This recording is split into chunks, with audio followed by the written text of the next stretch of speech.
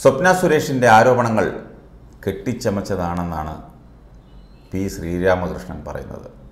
ഒറ്റയ്ക്ക് ഔദ്യോഗിക വസതിയിലെത്താൻ ആവശ്യപ്പെട്ടിട്ടുണ്ടെന്നും വസതിയിൽ വെച്ച് ഒരുമിച്ച് മദ്യപിച്ചിട്ടുണ്ടെന്നും ഉൾപ്പെടെയുള്ള സ്വപ്നയുടെ ആരോപണങ്ങൾക്കാണ് ശ്രീരാമകൃഷ്ണന്റെ മറുപടി. ഔദ്യോഗിക ആവശ്യങ്ങൾക്ക് ക്ഷണിക്കാനും മറ്റും വരുന്ന സമയത്ത് ഭർത്താവും മകനും ഒരുമിച്ചാണ് സ്വപ്ന വന്നിട്ടുള്ളതെന്ന് ശ്രീരാമകൃഷ്ണൻ സമൂഹ മാധ്യമത്തിൽ പങ്കുവച്ച കുറിപ്പിൽ പറയുന്നു. സുരക്ഷാ ഉദ്യോഗസ്ഥരുടെ കണ്ണു വെട്ടിച്ച് ആരോടെങ്കിലും ഒറ്റയ്ക്ക് വസതിയിൽ വരണമെന്ന് ആവശ്യപ്പെടാനുള്ള മൗഢ്യം തനിക്കില്ല. അഥവാ അങ്ങനെ പറഞ്ഞാൽ വരാൻ സ്വപ്നയ്ക്കെന്നല്ല ആർക്കെങ്കിലും വരാൻ പറ്റുമോ? സുരക്ഷാ ജീവനക്കാർ കാണില്ലേ? ഒറ്റയ്ക്കൊരു സ്ത്രീ വരുന്നത്. ഇനി സുരക്ഷാ ജീവനക്കാരെ മാറ്റി നിർത്തിയാൽ അവർ പുറത്തു പറയില്ലേ? അവർ തിരക്കില്ലേ? എന്തിനാണ് അവരെ മാറ്റി നിർത്തുന്നതെന്ന്? ഒരു ഈച്ച പോലും അറിയാതെ ഒരാൾക്കും മന്ത്രിമന്ദിരത്തിൽ വരാൻ പറ്റില്ല. ഭാര്യയും മക്കളും അമ്മയും ചേർന്ന് കുടുംബത്തോടൊപ്പം താമസിക്കുന്നിടത്ത് നിത്യേന മദ്യപാന സദസ്സ്. ഓ കേട്ടുകേഴ്വി പോലുമില്ല. അങ്ങനെ നടത്തുന്ന തലത്തിലേക്ക് തരം താഴാൻ മാത്രം സംസ്കാരശൂന്യനല്ല താനെന്ന് അദ്ദേഹം പറയുന്നു. ശ്രീരാമകൃഷ്ണൻ പങ്കുവച്ച കുറിപ്പൊന്ന് കേൾക്കാം. ചിത്രവധം മൂന്നാം ഘട്ടത്തിലേക്ക് കടക്കുകയാണ്.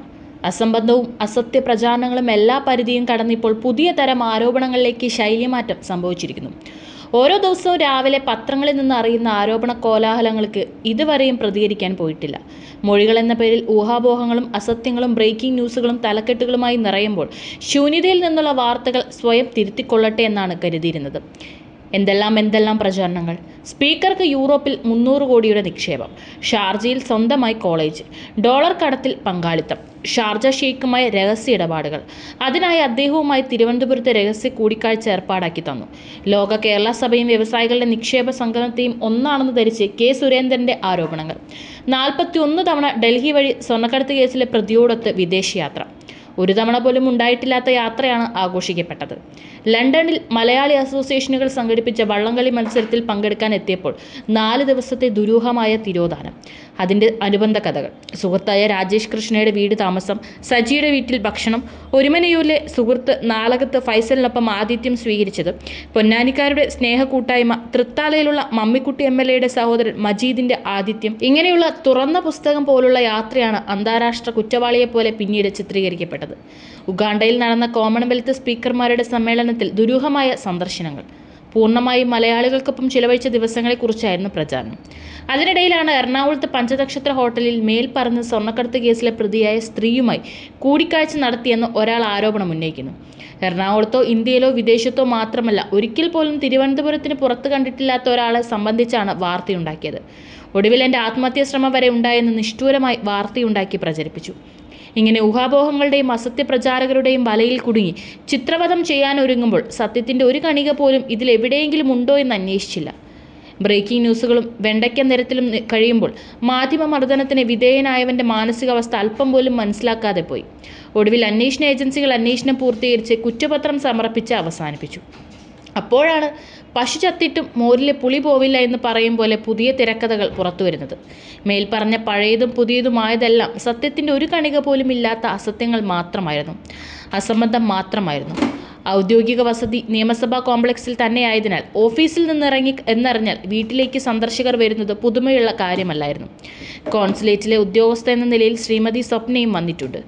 ഔദ്യോഗിക ആവശ്യങ്ങൾക്ക് ക്ഷണിക്കാനും മറ്റും വരുന്ന സമയത്ത് ഭർത്താവും മകനും ഒരുമിച്ചാണ് വന്നിട്ടുള്ളത്. ഔദ്യോഗിക വസതി എത്തുന്നതിന് മുൻപ് പോലീസ് കാവലുള്ള രണ്ട് ഗേറ്റുകൾ കടക്കണം.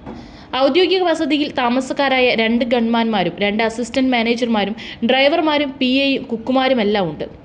അതിനു പുറമെ പകൽ സമയങ്ങളിൽ ദിവസവേതനക്കാരായ ക്ലീനിംഗ് സ്റ്റാഫുകൾ ഗാർഡൻ തൊഴിലാളികളും എല്ലാം ഉള്ളപ്പോൾ ഇവരുടെ എല്ലാം കണ്ണുവെട്ടിച്ച് ആരെങ്കിലും ഒറ്റയ്ക്ക് വസതിയിൽ വരണമെന്ന് ആവശ്യപ്പെടാനുള്ള മൗഢ്യം എനിക്കില്ല. മാത്രമല്ല ഔദ്യോഗിക വസതിയിൽ താമസിച്ചത് എന്റെ കുടുംബത്തോടൊപ്പമാണ്. ഭാര്യയും മക്കളും അമ്മയും ചേർന്ന് കുടുംബത്തോടൊപ്പം താമസിക്കുന്നിടത്ത് നിത്യേന മദ്യപാന സദസ് ഉണ്ടായിരുന്നു എന്നാണ് ഒരു മാധ്യമം റിപ്പോർട്ട് ചെയ്തതായി കണ്ടത്. അത്തരമൊരു തലത്തിലേക്ക് തരം താഴാൻ മാത്രം സംസ്കാര ശൂന്യനല്ല ഞാൻ. മകൾ പള്ളിപ്പുറം ഏഷ്യൻ സ്കൂൾ ഓഫ് മാനേജ്മെന്റിലും മകൻ സെന്റ് ജോസഫ് ഹൈസ്കൂളിലുമാണ് പഠിച്ചിരുന്നത്. ഭാര്യ വിദ്യാഭ്യാസ വകുപ്പിൽ ഡെപ്യൂട്ടേഷനിൽ ജോലി ചെയ്തിരുന്നതിനാലും എല്ലാവരും തിരുവനന്തപുരത്തായിരുന്നു. അമ്മ പൂർണമായും എന്റെ കൂടെ തന്നെയായിരുന്നു. ആരോടും അപമര്യാദയായി പെരുമാറുന്ന രീതി എനിക്കില്ല. എന്നെ സന്ദർശിക്കുന്നവരോടെല്ലാം അത് പുരുഷനായാലും സ്ത്രീയായാലും സ്നേഹത്തോടും സൗഹൃദത്തോടും വിനയത്തോടുമാണ് പെരുമാറിയിട്ടുള്ളത്. അതിൽ തെറ്റിദ്ധാരണ ഉള്ളതായിട്ട് നാൽപ്പത് വർഷത്തെ പൊതുജീവിതത്തിനിടയിൽ ആരെങ്കിലും പരാതിപ്പെട്ടതായി എന്റെ അറിവിലില്ല. ഞാൻ ആർക്കും അനാവശ്യ സന്ദേശങ്ങൾ അയച്ചിട്ടുമില്ല.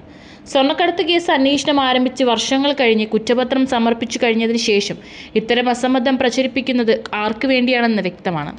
കോൺസുലേറ്റിന്റെ പല കാര്യങ്ങൾക്കുമായി എന്റെ ഓഫീസ് മുഖേന ശ്രീമതി സ്വപ്നയെ ബന്ധപ്പെട്ടിട്ടുണ്ട്. എന്നാൽ യു എ കോൺസുലേറ്റിൽ ഞാൻ ഇതുവരെ സന്ദർശിച്ചിട്ടില്ല. ആ കെട്ടിടം കണ്ടിട്ടുമില്ല. ചില ഇഫ്താർ വിരുന്നുകളിൽ കണ്ടിട്ടുള്ളതല്ലാതെ അറ്റാഷിയുമായി എനിക്ക് സൗഹൃദമില്ല. അദ്ദേഹത്തിന്റെ ഫോൺ നമ്പർ പോലും കൈവശമില്ല. ഒരിക്കൽ പോലും അദ്ദേഹത്തെ ഫോൺ ചെയ്തിട്ടുമില്ല. ഒരു കോൺടാക്റ്റും ഇല്ലാത്ത ഒരാളുമായി ചേർന്ന് ഇടപാടുകൾ എന്നെല്ലാം പറയുമ്പോൾ അത് ക്രൂരമായ ആരോപണമാണ്.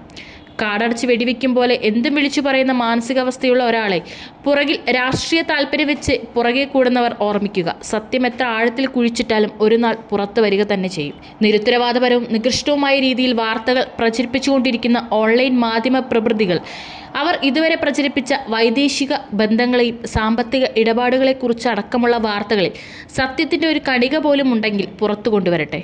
എന്തായാലും ഈ തിരക്കഥകളിൽ നിന്ന് ഞാൻ പഠിച്ചൊരു പാഠമുണ്ട്. വിശ്വാസം അതല്ല എല്ലാം. എന്നത് തന്നെയാണ്. രാഷ്ട്രീയ വൈരാഗ്യത്തിന്റെ പേരിൽ മാത്രം പ്രചരിക്കപ്പെടുന്ന ഈ അസത്യങ്ങളുടെ ഗുണഭോക്താക്കൾ ആരാണെന്ന് പൊതുസമൂഹം തിരിച്ചറിയണം. സംഘപരിവാറിന്റെ കുബുദ്ധിയും ആസൂത്രണവും ഏത് പരിധിയും കടക്കുമെന്ന കിഫ്ബി അന്വേഷണത്തിലും ലൈഫ് ഭവന പദ്ധതി മുടക്കുന്ന രീതിയിലുള്ള ഇ ഡി അന്വേഷണവും സഹകരണ പ്രസ്ഥാനങ്ങളുടെ അസ്ഥിവാരം തകർക്കുന്ന തരത്തിൽ അന്വേഷണം കൊണ്ടുവന്നതിലുമെല്ലാം നമ്മൾ കണ്ടതാണ്. അതിന് സഹായകരമായ വ്യക്തിഹത്യ നടത്തുന്നതിന്റെ ഉദ്ദേശവും മറ്റൊന്നല്ല എന്ന് ജാഗ്രതയോടെ തിരിച്ചറിയണം. സാമ്പത്തിക കുറ്റകൃത്യങ്ങൾ സ്വർണക്കടത്തിന്റെ ഉറവിടം ലക്ഷ്യം അതിന്റെ അനുബന്ധ നാടകങ്ങൾ ഇതൊന്നും വേണ്ടത്ര പുറത്തു വരാതിരിക്കാനുള്ള ഗൂഢാലോചനയുടെ രാഷ്ട്രീയമാണ് ഇതിന്റെ പുറകിലുള്ള ലക്ഷ്യം. അറിഞ്ഞോ അറിയാതെയോ ഇതിന് കരുവായി തീരുകയാണ് പ്രതിയായ സ്വപ്ന. അതുകൊണ്ട് തന്നെ ഇതിനെ രാഷ്ട്രീയമായി തന്നെ നേരിടുന്നതിനോടൊപ്പം നിയമപരമായ വശങ്ങളും പരിശോധിച്ച് മുന്നോട്ട് പോകാനാവും.